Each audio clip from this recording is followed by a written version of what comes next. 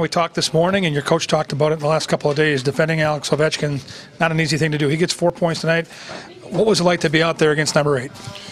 I mean, you got to be extra aware. He's he just needs a little bit of room, and, and it's in the back of the net, or it's a dangerous shot, and all his shots create rebounds and havoc. It seems like they're they're real heavy, and I think uh, yeah, we let him on the score sheet a little too much, and, and he was a big factor tonight.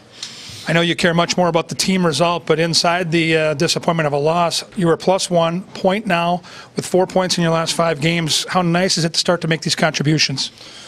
Think it's nice, but we, I mean, when you don't win, it doesn't really matter. Um, but I think, I mean, it's a little bit of confidence, and, and me and Dums have been building some chemistry, so I think it's working well. And uh, but but again, I'm not not looking for points or anything. Just trying to do do what I can to help the team win.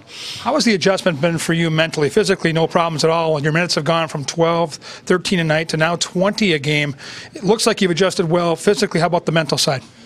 Uh, well, you got to take care of the body a little differently and, and make sure you get your rest and, and, turn the brain off after games. But it's been, I mean, you get out there and you, you feel like you're consistently playing, and it's uh, you, you, get into the game a little differently. So it's been nice, and uh, you know, just want to continue that difficult week ahead in New York. One more home game to go. The importance now of the Anaheim game Saturday before you head out. Yeah, I think it's huge, and we, we, you know we definitely get an extra boost from the crowd. So we got to make sure we, we take advantage of that with, with the next home game and, and build that momentum up on the road. Thanks a lot for your time tonight. Yep, thank you, Kevin. A young man really finding his way in the National Hockey League. The minutes are up, so are the results. Gustav Olofsson could be a real key player for the Wild here down the stretch.